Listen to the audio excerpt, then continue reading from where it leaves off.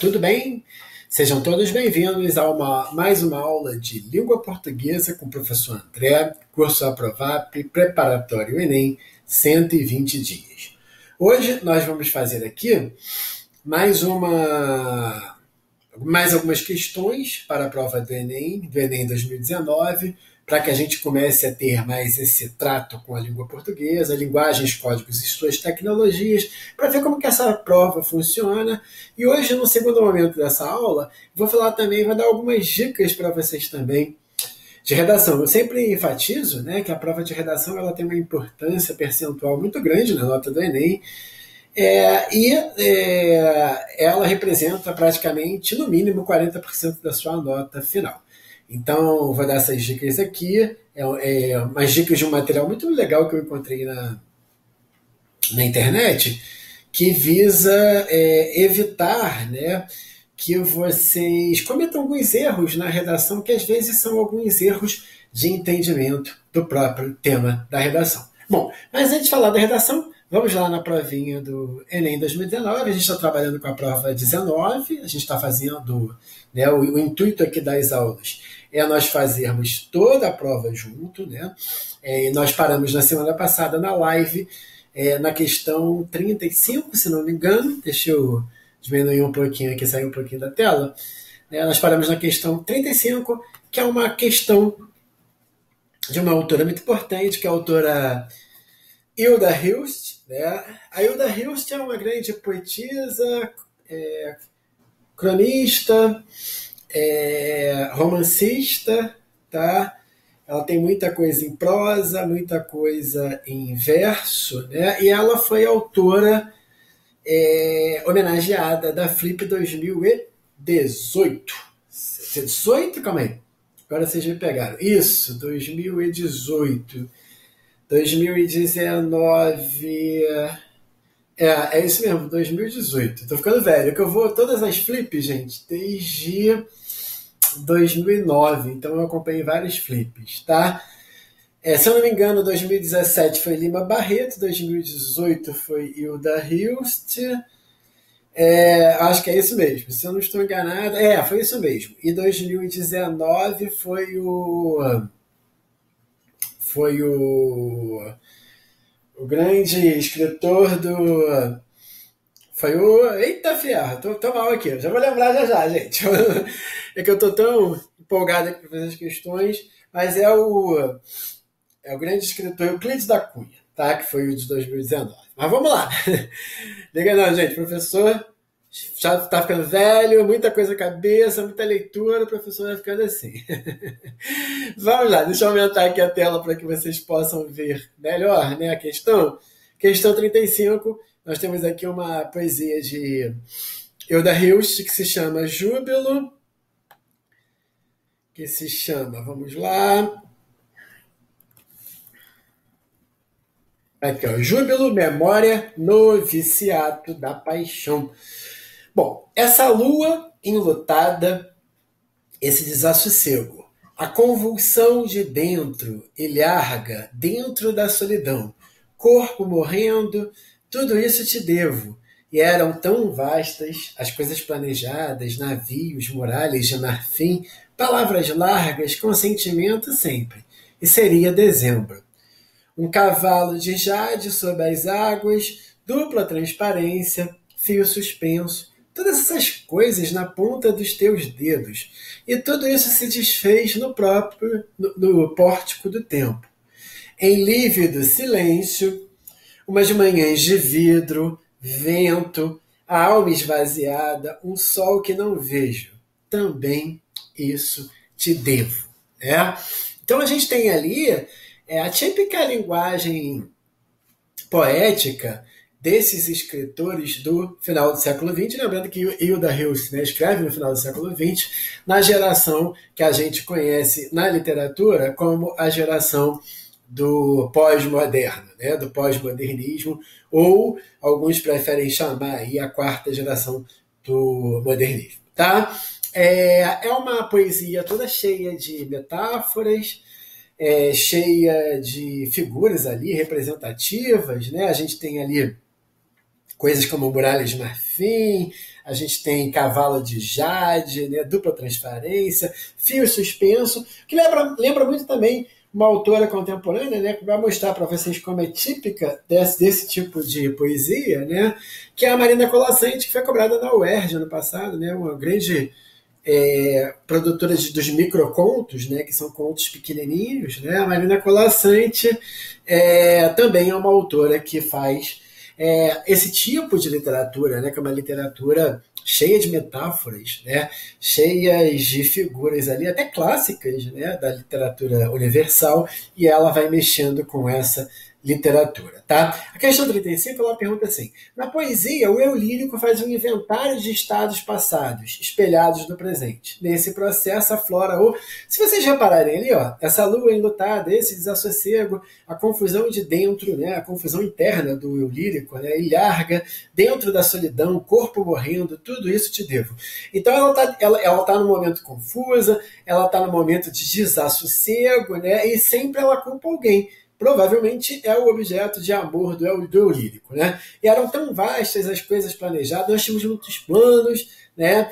Muralhas de marfim, ou seja, muralhas, né? A gente achava no passado que esses planos eram muralhas, eram rígidos, mas eram de marfim. Marfim é aquele elemento, né? Que se quebra à toa, que é feito da, dali daque, daquela parte do, do elefante, né? Da, da, da frente do elefante, né? Aquele, aquela coisa protetora ali do, dos elefantes, né, que a natureza criou.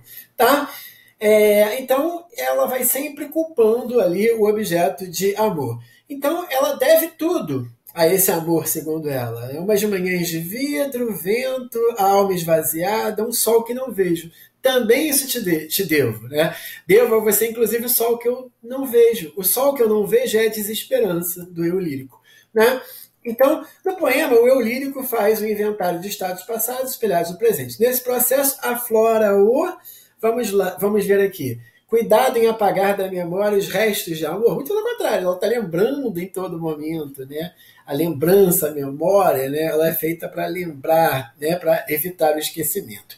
O amadurecimento revestido de ironia e desapego. Sim, se vocês repararem, né? A questão inicial ali, ela fala do tempo, né? O tempo da vida mesmo, né? Ela está dizendo aqui, ó. Logo lá em cima, ela vai dizer assim: essa lua enlutada, esse desassossego, a confusão de dentro, larga dentro da solidão, corpo morrendo. Corpo morrendo, é o tempo passando, né? Tudo isso te devo. Eram tão vastas as coisas planejadas, navios, braços, marfim, né?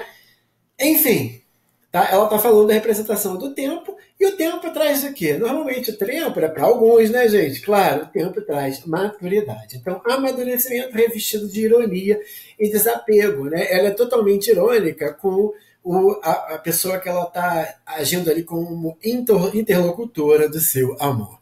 Lindíssimo poema da Yulia Hills, né, cobrado aí no Enem 2019, sendo que em 2018 a Flip é, homenageou as, é, o autor. Né? Então é muito importante, gente, para essa prova de linguagens, códigos e suas tecnologias, como eu venho enfatizando para vocês aí sempre, né, é que vocês conheçam esse repertório.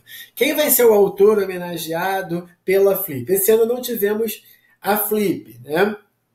É, e nós íamos ter uma poetisa muito polêmica que seria homenageada em 2020 na Flip. Não tivemos a Flip por conta da, pane da pandemia. E por que, que essa poeti poetisa, né, Elizabeth Bistrot, né, Bichot, perdão, por que, que ela é muito polêmica, né, que será, seria homenageada em 2020? Porque ela é uma poetisa de origem franco-brasileira, né, que vivia em França né, mas estava sempre no Brasil, e ela esteve no Brasil justamente durante o período da ditadura militar, e ela não fez uma crítica à ditadura militar, muito pelo contrário, ela é, se colocou publicamente né, dizendo que era necessário o Brasil passar né, ditadura, que o governo dos militares seria um governo é, efetivamente democrático, né? Então é uma autora muito criticada que seria trazida pela Flip 2020 e rolou uma série de protestos né, entre os frequentadores da Flip, é, muitos deles, muitos escritores, autores se negando a participar da Flip. E é o pedido dessa poetisa de uma certa maneira tem a ver ali com o entrelaçamento da Flip da cidade de Paraty para com o governo federal atual do presidente Jair Bolsonaro. Então é muito importante que vocês tenham esses essas visões. Né? Então, na prova do Enem 2019, cai a Hilda Rios, que não é uma autora que caia muito é, de forma muito comum em vestibular, sendo que ela foi homenageada no ano anterior pela Flip. Então, se vocês tiverem, né, como ter essas informações, quem, quem que está sendo homenageado, quem está no circuito, quem está sendo lido, né? Como eu sempre falo para vocês, por exemplo, tem um autor né, muito importante que é o Bauman, né, que todo mundo cita, todas as áreas citam esse autor. Então é muito importante que vocês tenham né, dimensão do que está acontecendo na cena cultural brasileira, na cena internacional, o que está sendo discutido em artes, como eu falei para vocês na semana passada nas questões do Enem. Tá? Isso são questões muito importantes que vão facilitar você é, fazer a prova de uma maneira mais efetiva, né? E ir muito bem em códigos, linguagens e suas tecnologias. Bom, beleza, dito isso, vamos lá, vamos à próxima questão. A questão 36. Expostos na web desde a gravidez. Mais da metade das mães e um terço dos pais, ouvidos em uma pesquisa sobre compartilhamento compartilhamento paterno em mídias sociais discutem nas redes sociais sobre a educação dos filhos. Muitos são pais e mães de primeira viagem, frutos da geração Y, que nasceu junto com a internet. Essa geração Y essa geração que nasceu nos últimos. no, no século XXI, né, praticamente, e que hoje tem ali 19, 20 anos, né, que já estão com os primeiros filhos. Né? Então, é uma geração que praticamente, eu costumo brincar que o bebê ele já sabe o que é o touchscreen, ele já sabe mexer no celular melhor do que a gente. Né? Muita criança de 2, 3 anos já está mexendo no celular, antes de ser alfabetizado, inclusive. Né?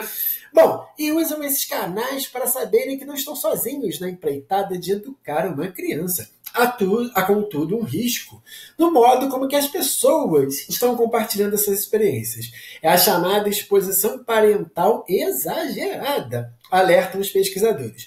De acordo com especialistas no assunto, se você compartilha uma foto ou vídeo do seu filho pequeno fazendo algo ridículo por achar engraçadinho, quando a criança tiver seus 11, 12 anos, pode se sentir constrangida. A autoconsciência vem com a idade a exibição da privacidade dos filhos começa a assumir uma característica de linha de tempo, e eles não participam da aprovação ou recusa quanto à veiculação desses conteúdos. Assim, quando a criança cresce, sua privacidade pode já estar violada. É, é muito comum, inclusive, né, aparecerem aí, hoje adultos, né, os famosos é, bebês das revistas, né, daquelas revistas dos anos 90, e hoje as pessoas são adultas, né, e elas foram representadas lá como os bebês na mídia. Né? Essa exposição midiática ou a sociedade do espetáculo né, é, uma, é uma característica da, da sociedade atual. Né? Tudo é espetacularizado. Você publica normalmente, você publica uma foto do que você comeu,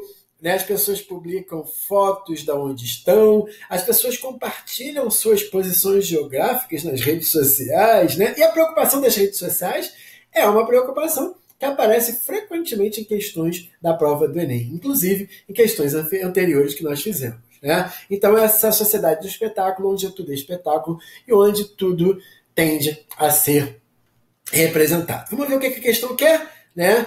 É... Deixe-me diminuir aqui o meu rostinho para vocês. Vamos lá. Sobre compartilhamento parental excessivo em mídias sociais, o texto destaca como impacto, letra A, interferência das novas tecnologias na comunicação entre pais e filhos? Não. Até porque os bebês não estão se comunicando né, com os pais ali pela tecnologia, né? É, desatenção dos pais em relação ao comportamento dos filhos na internet? Não. Distanciamento na relação entre pais e filhos provocado pelo uso das redes sociais? Não. Fortalecimento das redes e de relações decorrentes da troca de experiência entre famílias? Não. Letra E. Desrespeito à intimidade das crianças? Sim. Cujas imagens têm sido divulgadas nas redes sociais. Gente, por mais que seja um bebê, futuramente ela vai ter, ela vai ter direito, a, ela vai ter uma personalidade, ela vai ter uma autoconsciência. E ela nessa criança, esse jovem, esse adolescente, ele pode se achar ridicularizado pelos pais. Né? Imagina ali futuramente os filhos vendo as redes sociais dos papais. Né? Bom, será que eles vão se sentir bem? Não sei. Bom, questão 37 segue essa toada. Nós já vimos aqui também como que as características da, da prova do Enem, de códigos, linguagens suas tecnologias, seguirem algumas toadas. Se a questão 36 falou né, do comportamento das vidas sociais, a 37 também vai falar da informática, do desenvolvimento tecnológico né, durante a revolução, a terceira fase da Revolução Industrial, que é a Revolução Tecnológica, a fase tardia né, da Revolução Industrial, que é essa que a gente está vivendo hoje. Né? Então vamos lá. O projeto Data Viva consiste na oferta de dados oficiais sobre exportações, atividades econômicas, localidades e ocupações profissionais de todo o Brasil. No primeiro momento, o Data Viva constru construiu uma ferramenta que permita a análise da economia mineira, Minas Gerais, né? embasada por essa perspectiva metodológica complexa e diversa no entanto, diante das possibilidades oferecidas pelas bases de dados trabalhadas, a plataforma evoluiu para um sistema mais completo. De maneira interativa e didática, o usuário é guiado por meio das diversas formas de navegação nos aplicativos. Além de informações sobre os produtos exportados, bem como acerca do volume das exportações em cada um dos estados, tá? Deixa eu subir aqui. Em municípios do país, em poucos cliques, o interessado pode conhecer melhor o perfil da população, o tipo de atividade desenvolvida, as ocupações formais e a média salarial por categoria. Então é um grupo de dados, né, que é uma empresa que fornece dados, né, dados sobre as cidades brasileiras, as ocupações trabalhistas, os lazeres, gostos né, do público em cada cidade. Isso facilita o quê, gente? Isso facilita né, que o empresário, quando vai abrir um negócio nessa cidade, para que ele conheça o perfil dessa cidade, o que, que as pessoas gostam dessa cidade. O sonho de todo é, empresário, de todo comerciante, né, de todo empreendedor é justamente o quê? É saber né, o qual o que, que o público quer, é o desejo do público. Não só de empreendedores, né, gente? De escritores, de gente que escreve novela, de gente que escreve livro. Você quer saber exatamente quais são os gostos daquelas pessoas. E hoje esses sistemas de data, de, de database, né, de consulta de, de, de, de informações né, sobre potenciais é, clientes, ele facilita que você tenha acesso a essas informações. É claro que o uso imoderado disso pode causar alguns impactos na privacidade das pessoas. Né? Uma grande é, discussão, por exemplo, de séries como Black Mirror, né? séries que discutem o mundo contemporâneo e sua excessi seu excessivo uso de dados. Tá? É uma discussão também do George Orwell, 1984, né? Que vai ser o livro da prova de redação da UERJ. É, então, vocês fiquem atentos para essas questões, né? Nesse caso aqui, o uso de dados é positivo, né? Porque vai integrar diversos sistemas administrativos para que os serviços possam chegar ao consumidor de uma maneira mais geral. E sempre pensar o seguinte, tá, gente? Toda tecnologia, todo uso excessivo de algo novo, de uma ferramenta nova, pode provocar benefícios e malefícios, tá? Então a gente tem que ter esses, esses olhares, não só malefícios, com o olhar que a gente configuraria como mais maniqueísta, mas também é, é, benefícios né, que a internet tem. Né? Por exemplo, a gente fala mal né, da, da rede social, do YouTube, né, mas a gente usa para dar aula, a gente usa, né, tem coisas, tem efeitos positivos nisso. Né? Então a, a, pandemia, apesar de ter nos isolado, né, colocou em voga isso aqui. A gente está tendo uma aula virtual, fazendo uma prova do Enem. Claro, isso é um benefício da tecnologia e da terceira fase da Revolução Industrial. Tá? Então tudo tem benefícios e malefícios. Tá? Entre as novas possibilidades promovidas pelo desenvolvimento de, de novas tecnologias, o texto está destacando o quê? Né? O que, que esse texto destaca? Presta atenção no seguinte, gente: vocês podem ter leituras sobre um tema, tá? Mas o que, que esse texto está falando especificamente? Esse texto está falando é, especificamente que vários órgãos né, administrativos estão se comunicando para chegar a dados para fornecer esses dados para empresas, né, para gente que quer investir naquele lugar, né, que, tem, que quer entender o risco daquele lugar, as qualidades daquele lugar, né, os gostos daquela população. Então nós temos nesse texto especificamente, não, não ache que você pode ir além do texto. Essa é uma questão que você tem que ficar dentro do texto. O que, que o texto está falando? É uma questão meramente interpretativa. Então, o texto fala, letra E, a comunicação entre os órgãos administrativos. Belezinha? Deu para entender? Tem vezes que a gente tem que fugir do texto para adivinhar a questão. Lembra que eu falei para vocês? A questão da hipertextualidade, o texto ele é sempre muito mais do que ele aparenta ser. Não é só um conjunto de palavras ali. Né? Ele tem ali uma lógica, ele tem um interlocutor, né? ele tem uma tipologia. O, né? o texto ele tem um gênero. Né? O texto tem gênero. Ele pode ser uma. Ele, nesse caso aqui, a gente tem uma, uma notícia. Né? É, se ali nós tivéssemos a opinião do grupo, se nós tivéssemos a opinião do jornalista, nós teríamos um editorial, que é um outro tipo de texto, beleza? Mas eu vou falar desses gêneros textuais conforme nós viermos a fazer as questões do Enem, beleza? Bom, aí a 38 a gente vai para um texto chamado Menina, um texto aqui, tá? É, de 2017. Vamos ler esse texto. A máquina de costura avançava decidida sob o pano. Que bonita era a mãe era com alfinetes na boca. Gostava de olhá-la, calada, estudando os seus gestos, enquanto recortava retalhos de pano com a tesoura. Interrompia às vezes seu trabalho, era quando a mãe precisava da tesoura. Admirava o jeito decidido da mãe ao cortar pano. Não hesitava nunca, nem errava. A mãe sabia tanto Tita se chamava de, como quem diz. Tentava não pensar as palavras, mas sabia que na mesma hora da tentativa tinhas pensado. Oh, tudo era tão difícil. A mãe saberia o que ela queria perguntar-lhe. Intensamente agora, com quase fome, depressa, depressa, antes de morrer, tanto que não se conteve e. Mamãe, o que é desquitada. Atirou rápida, com uma voz sem timbre. Tudo ficou suspenso. Se alguém gritasse, o mundo acabava, o Deus apareceria. Sentia Ana Lúcia. Era muito forte aquele instante. Forte demais para uma menina. A mãe parada com a tesoura no ar. Tudo sem solução, podendo desabar a qualquer pensamento a máquina avançando desgovernada sobre o vestido de seda brilhando, espalhando luz, luz, luz. Tive que fazer essa interpretação dramática, né? Porque essa é uma questão dramática, né? Escrita na década de 60, a narrativa põe em evidência uma dramática centrada na. Gente, essa questão do universo feminino, né?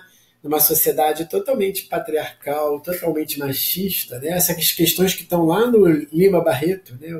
sobretudo no Policarpo Quaresma, livro da UERJ, da primeira fase, que será feita ano que vem, é essa questão da figura né, da mulher na sociedade brasileira, né? a mulher ela sempre foi vista como né, agregada à figura masculina. As mulheres não saíam de casa sozinhas, né? Saíam ali com os seus irmãos, seus primos, sempre com uma figura masculina, o pai, o tio, né? O universo da, do feminino era a casa. Uma mulher, né, um dos grandes, uma das grandes problemáticas, mas das grandes angústias femininas, né, durante séculos e séculos de existência da sociedade brasileira, né, é, uma das angústias da mulher era ter que casar. Era uma questão, ou você casava ou você ficava de agregada, ou você simplesmente pereceria, você morreria. É, é o caso, por exemplo, na, em Machado de Assis nós temos isso, né? várias personagens né, femininas que é, viraram praticamente moradoras de ruas, mendigos, né, quando não conseguiram casar. Não se tinha essa possibilidade, como se tem hoje, da mulher ficar solteira ou, como diz o título popular preconceituoso, né, ficar para titia. Né? Então, o lugar, a única solução da mulher né, é, se entrelaçar com a sociedade, ser reconhecida pela sociedade, era através do casamento. Tá? E o que, que acontece? Pior ainda, nos anos 60, isso é recente, né? isso é 1960, gente. Né? Isso tem aí é, 70 anos, né? 60 anos, pera. Né? É muito recente. Isso aí dá duas, três gerações, mais ou menos. Né? Então, essa mulher aí tem uma filha e ela é desquitada, né? Era uma expressão muito preconceituosa usada nessa época, né? Para dizer que a pessoa era divorciada. Desquitada era como se fosse largada pelo marido. Né? E ela cria essa filha, está trabalhando ali como costureira e cria essa filha sozinha. E sabe aquelas perguntas que as crianças fazem fazem, né, que evidenciam nossas angústias, nossas vergonhas, nosso evidencia o quanto o fato social de Durkheim né, é constrangedor. Né? A criança sempre faz aquelas perguntas constrangedoras, até porque ela não entende o que é constrangedor, e a gente tem que respondê-la por entender a humildade das crianças. Não é isso? Bom, nossa aula hoje está tá muito bacana, hein? O professor está discutindo sociologia, está discutindo português, literatura, está riquíssima. Mas vamos lá. Aproveitem, aproveitem que o professor está inspirado. Então, gente, essas questões sociais né, são muito importantes, sobretudo no universo feminino. A questão do divórcio, a questão de, estar, de ser mãe solteira, a questão né, de não ter um casamento, que é uma expectativa social.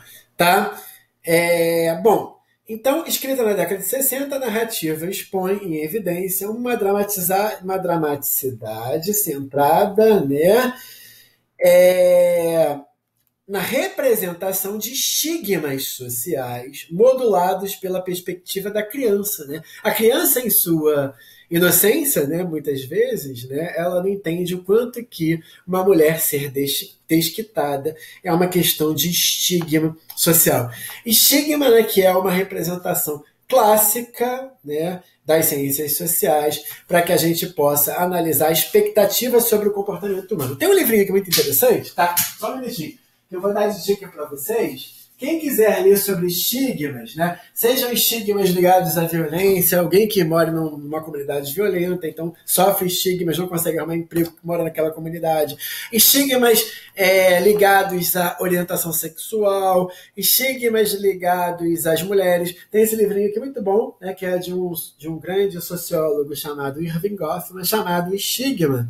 Notas sobre a manipulação de identidade é deteriorada. É quando a sociedade deteriora alguns tipos sociais, né, por, por estar ligados a fatores morais, fatores né, de falso moralismo, né, de construção da exclusão do outro. Tá? Muito bom esse livrinho aqui, vale muito a pena. Eu tive que pegar ali na estante, porque me lembrei imediatamente desse livro que trabalha com essa categoria muito importante, que é a categoria do estigma. Bom, vamos lá, gente. Mais uma questão aqui, a questão 39. É uma questão que fala sobre outra questão muito importante, que é a questão dos idosos, né? Como que a nossa sociedade atual lida com essa categoria de pessoas que são as pessoas que a gente chama ali de terceira idade ou idosos. Texto diz assim: o Estatuto do Idoso completou 15 anos em 2018. Muito recente, né? Então, ele é de 2003. E só no primeiro semestre, o Disque 100 tá, recebeu 16 mil denúncias de violação de direitos dos idosos em todo o país. Para especialistas da área, o aumento do número de denúncias pode ser consequência do encorajamento dos mais velhos na busca pelos direitos, mas também pode refletir uma onda crescente de violência na sociedade dentro das próprias famílias. Né? Gente sem paciência com, com os idosos, né, gente? Muitas vezes os idosos são responsáveis economicamente pela casa, né? Eles que têm a renda, né? Então, políticas públicas mais eficazes no atendimento ao idoso são o mínimo que um país deve estabelecer. O Brasil está ficando para trás e é preciso levar em consideração que o país envelhece tendência mundial. Né? Há uma tendência mundial ao envelhecimento e ao crescimento ali da, da, da pirâmide social né? nas, nas faixas etárias mais altas. Né? O Brasil está ficando para trás e é preciso levar em consideração que o país envelhece, tendência mundial, sem estar preparado para arcar com os desafios, como criar uma rede de proteção, preparar os serviços de saúde pública e dar suporte às famílias que precisem cuidar de seus dependentes. Então, dar acesso, acessibilidade à craseada questão dos idosos, tá? Então, isso aqui é uma matéria, tá? É, publicada pela Folha de Londrina, aí no site. Né?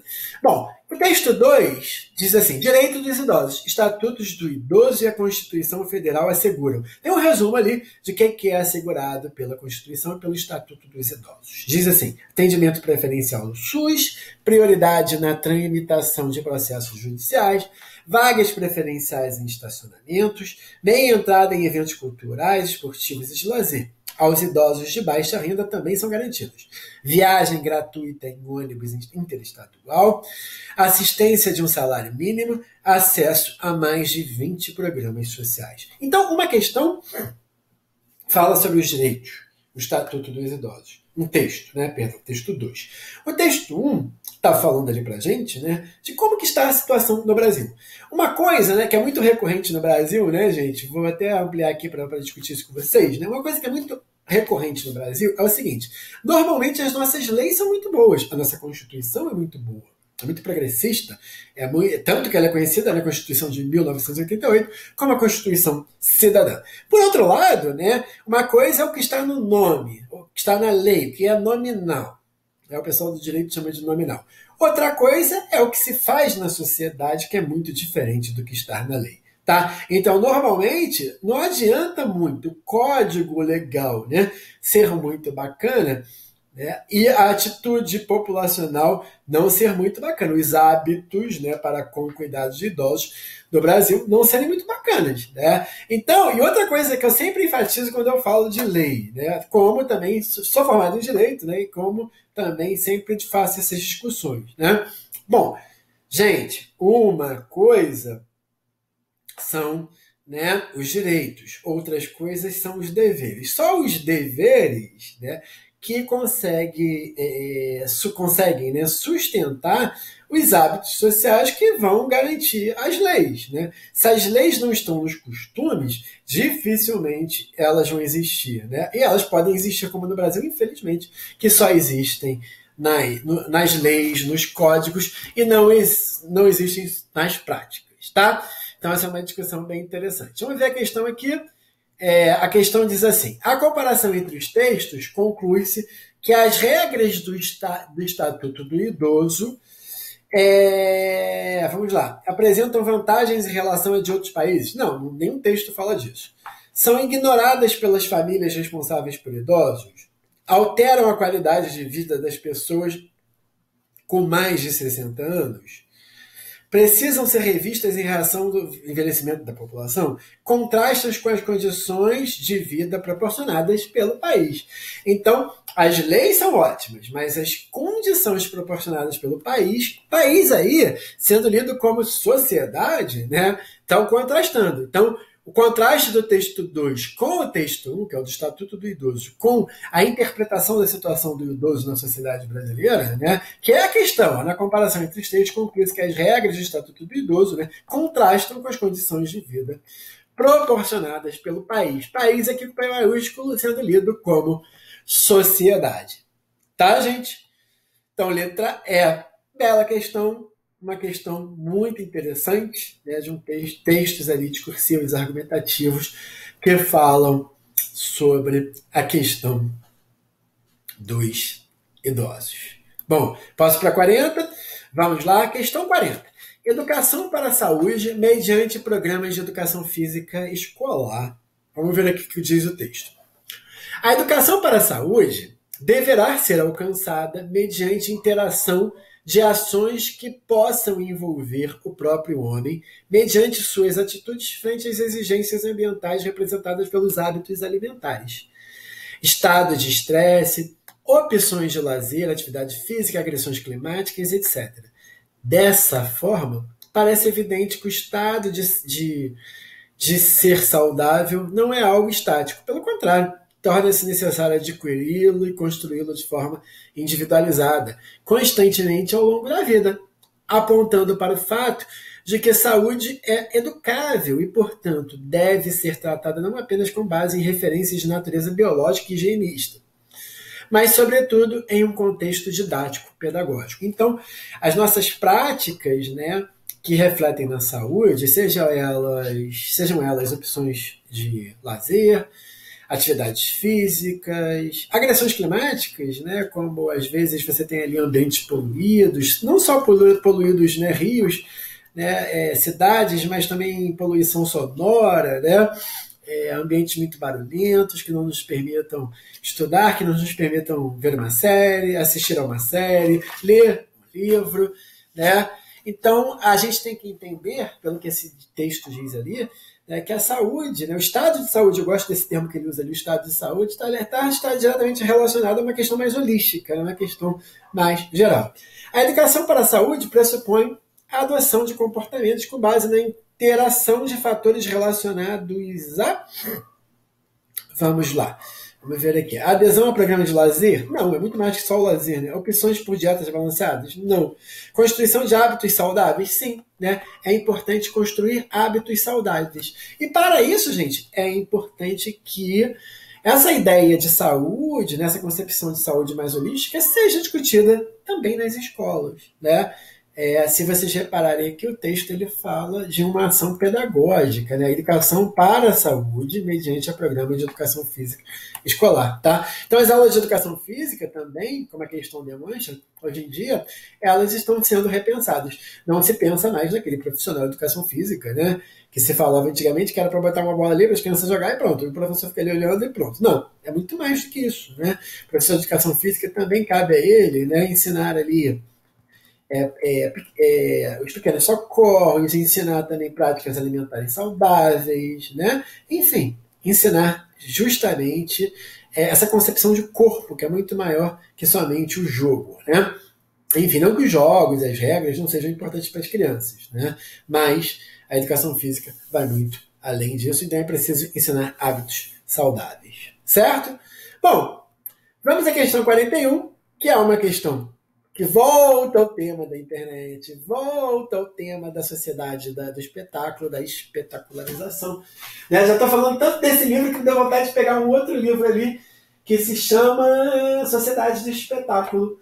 É, é que eu não lembro exatamente em que posição que ele está aqui na estante. Né? Eu acabei de botar ele ali, eu lembro que eu acabei de botá-lo ali. É, e é um livro muito importante, né? É, que fala sobre essa questão da sociedade de espetáculo, de como que as pessoas estão nas redes sociais aparecendo. E essa é uma questão muito legal, né? Que ela mostra aqui, ó, os tipos cheios de si. O difícil é encontrar quem nunca cruzou com um ou se passou por um desses online. Vamos lá. O que são chamados aqui os turistas em tempo integral. Posta o ano inteiro foto das férias desde outros anos parece viver viajando. Aquela pessoa que sempre posta fotos de viagens, né? O, o baladeiro vida louca, que é esse segundo tipo aqui. Quase dá para escutar o uhul pelas fotos de bebidas e pistas de dança. O bem relacionado de ocasião descobriu quem é o famoso que aparece na foto naquela hora, mas não deixa passar. A mãe é orgulhosa demais, faz questão de contar todas as gracinhas, até as que só tem graça para mãe né, na rede social. Ah, meu filho fez isso? Olha, né? Meu filho deu um pum, né?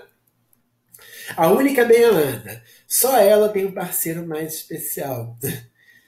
Porque momentos a dois são mesmo para divulgar. exibido, exibido humilde, né? Ele acha que disfarça ao dar dicas do próprio sucesso. Não engana ninguém. Né? Adora né, se exibir.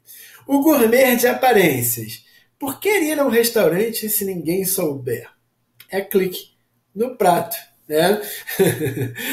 né? Tira foto de todas as comidas, né? E às vezes tira a comida do que chegou, né? Pelo, pelos aplicativos de entrega de comida, né?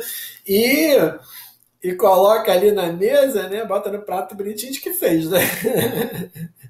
o lindo, o lindo é demais para não mostrar, né?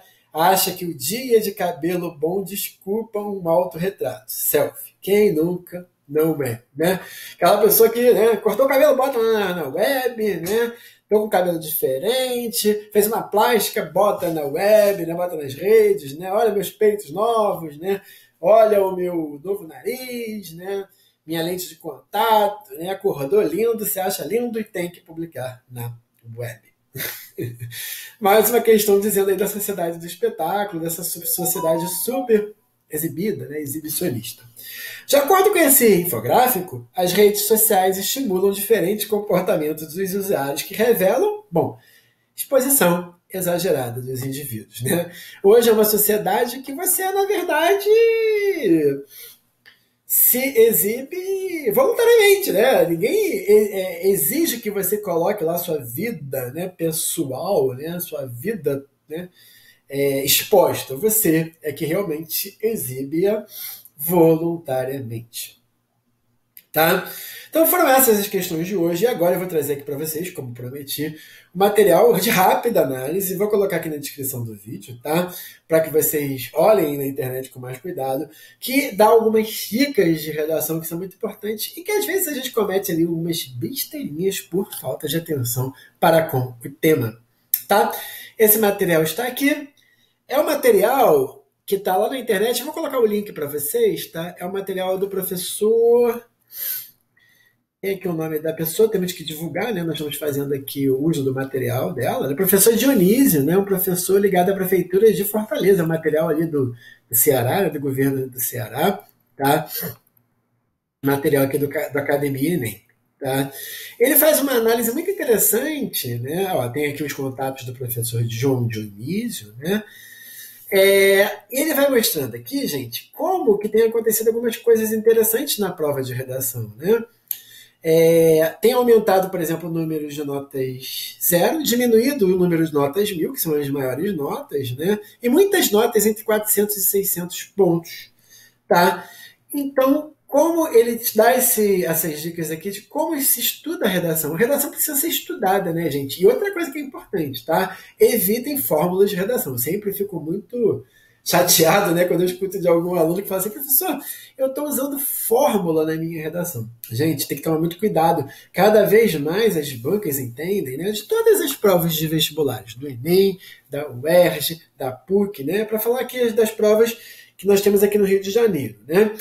Então, cada vez mais, gente, os professores entendem que o, o texto ele é de uma autoria, ele tem uma assinatura. Então é muito importante que você né, entenda né, quanto é importante você assinar. O seu texto é como se fosse um quadro, uma obra de arte. Né? Você tem que assinar. Você, é, a banca tem que entender que aquele texto é seu. Não adianta ficar copiando esses modelos de redação. Né? A banca percebe. Gente, imaginem que um professor, corretor de prova do Enem, ele corrige mais ou menos cerca de 50 redações por dia, né, quando ele está lá na correção.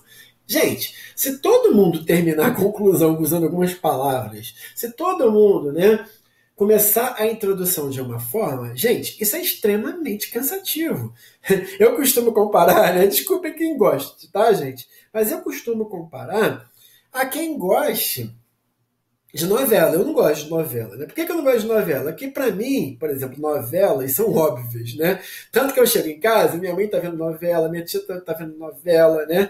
Aí eu olho aquilo por alguns momentos, assisto aquilo 20 minutos, né? E já sei qual é o final, já sei qual é a história, né? Porque de uma certa maneira, é uma técnica, né? As novelas né, têm como base ali uma receita, né? Então você já sabe quem é o vilão, quem é, né? Muito raramente você vai se surpreender com uma novela, né? Então, gente, é... preste atenção nisso, tá? Evitem é... fórmulas, tá? E façam a redação de vocês com autoria. Mostrem para a banca, né, que você né? Tem, você conhece as técnicas de escrita. Não precisa ser um Machado de Assis, não precisa ser uma Hilda Hilst, não precisa ser uma Clarice Lispector, mas você pode ser um escritor com uma autoria, com as suas marcas, com a sua qualidade textual. Tá? A gente nem precisa e nem vai ser, né? como eu estou dizendo aqui, afirmando, né? ninguém vai ser Machado de Assis. Né? Muito menos eu, que sou professor né? de vocês. Né? Então vamos lá. Leitura, para ter conhecimento de mundo, né? Preciso ler, né? Eu estou fazendo isso aqui com vocês. Eu leio uma questão do Enem, eu discuto, eu fico 10 minutos na mesma questão, porque são temas muito interessantes, né? São temas de, do mundo atual. As provas do Enem, ela tem essa capacidade de discutir o mundo atual. Escrita, para treinar as técnicas de redação. É preciso treinar. Redação, né? É treino, é como andar de bicicleta, né? É como dirigir. Né? Você precisa treinar para poder fazer Né? Ninguém vai fazer uma redação do nada, vai começar a escrever do nada. Né? Tem que começar a escrever. Escreva, mande para o professor, peça alguém para corrigir, peça alguém para ler, peça algum amigo seu que está estudando para o vestibular também, para ler sua redação. Né? E leia também a do outro. Né? Isso é muito importante para você aprender como se escreve. Aí o professor Dionísio, ele vem aqui, ele vai dizer assim, ó, 4, mil, 4 milhões 122 mil 423 provas do Enem foram corrigidas na aplicação regular do Enem, que aconteceu nos dias 4 e 11 de novembro. Desse número, apenas 55 conseguiram a tão sonhada nota mil. Olha, gente, no universo de 4 milhões de pessoas, só 55 conseguiram a nota mil. Observe no gráfico os números de notas máximas em provas recentes. Está vendo? Ó, em 2014, nós tivemos 250 provas com nota máxima. 2015 foi caindo 104, 2016 77, 2017 53 e 2018 cresceu um pouquinho em relação a 17, mas a tendência é cair. Por quê? As bancas não suportam mais esses modelos de redação que são aí fábricas de bolo, né? digamos assim. Né? Não dá, gente. Então, das, olha que dados interessantes. Das 55 redações com nota 1000 no Enem, em 2018, 42 foram escritas por mulheres. Majoritariamente escritas aí por mulheres, tá? Então, mais de 80% ali de notas máximas dentre as 55 redações, tá? Foram feitas por mulheres. Por quê? As mulheres têm mais essa sensibilidade subjetiva, né? Tá? É... Então, confira o perfil, tá vendo? De participação foram 42 notas máximas de mulheres e 13 de meninos, né? homens. Né? Aí temos os dados de notas máximas por estado. Fiquei muito orgulhoso. O Rio de Janeiro, aqui que eu trabalho, está né, tá com nota máxima. Né? É o que tem ao lado de Minas Gerais, são os estados com maior número de notas máximas. Né? Parabéns para os professores de redação, inclusive a mim, né? do Rio de Janeiro. Tá? Então, por que é tão difícil gabaritar, fechar essa prova? Né? Porque ó, a primeira coisa que o professor Dionísio vai destacar aqui, gente, é preciso entender qual é o tema da redação. Tema não é né, a discussão que está sendo feita ali pelos textos motivadores. Leiam os textos motivadores né, que estão ali. Aí ele dá esse exemplo aqui, nesse ano que ele está analisando aqui, era para você fazer uma redação sobre né, a Sobre, se eu não me engano, aqui. Deixa eu ver aqui. Não, calma aí. Eu acho que é, né, eu acho que esse ano aqui, quer ver, ó? Aqui, ó. Manipulação do comportamento do usuário pelo controle de dados na internet, tá? Então, como que a internet nos manipula para formar informações específicas para a gente. Então, por exemplo, se você fez uma pesquisa em algum site sobre um livro específico, sobre um perfume, sobre uma calça que você quer comprar, uma roupa, né?